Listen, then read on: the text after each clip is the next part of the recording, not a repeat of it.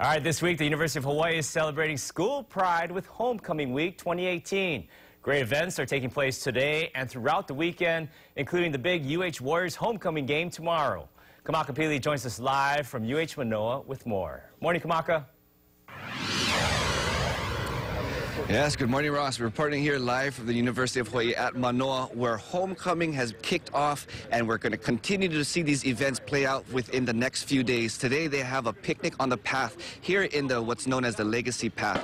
Full things going on. The band has just arrived, so we have a lot of things that's going to be keeping your excitement up, including also the cheerleading team that's behind me. We were able to snag two cheerleaders, Chanel and Kealoha Feliciano. Good morning, guys.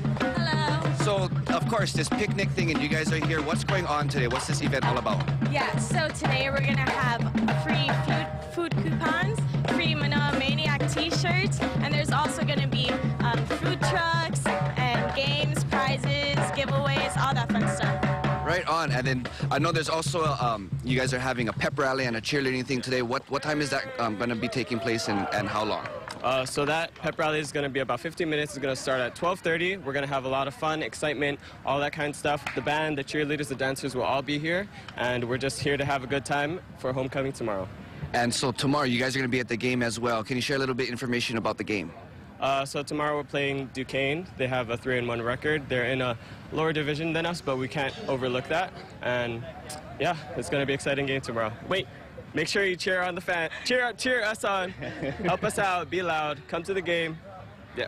It's always easy when somebody else is out for us to be loud too. Right on. Speaking of loud, if we can get a little bit of a sneak peek of what you guys are going to be doing at the um, the pep rally today, and of course that game tomorrow. Make sure you guys are going down. So with that, if you guys can take it away.